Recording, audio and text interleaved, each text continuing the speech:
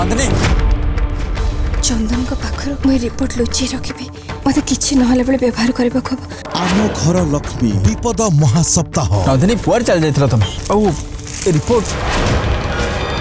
ଆମ ଘର ଲକ୍ଷ୍ମୀ ବିପଦ ମହାସପ୍ତାହ ଆଜି ସନ୍ଧ୍ୟା ସାତଟାରେ